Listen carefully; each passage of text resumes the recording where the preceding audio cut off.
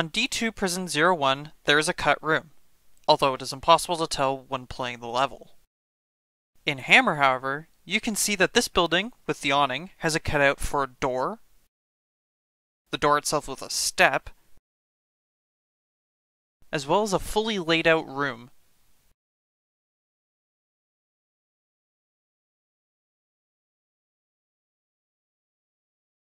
Given that Nova Prospekt guards spawn here, it's possible they were at some point supposed to come outside from this room.